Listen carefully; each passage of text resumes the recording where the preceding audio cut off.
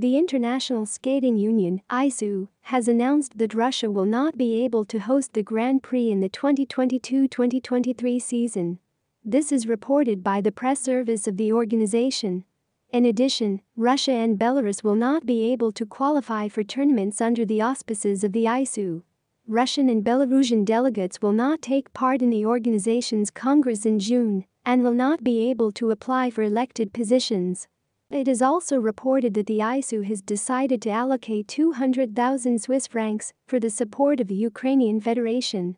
Honored coach of the USSR in figure skating Tatyana Tarasova reacted to the decision of the International Skating Union (ISU) to take away the Grand Prix of figure skating from Russia. The most important and sad thing is that our skaters will not perform. All these decisions are biased and ill-conceived.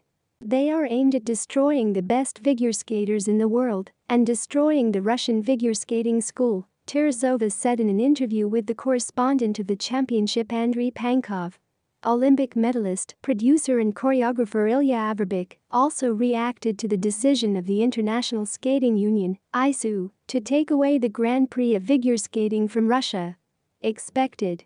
It was clear that this would happen. Your equivalent of the Grand Prix? We have championships. How to make an analog? Who will be performing on it? Averbakh said.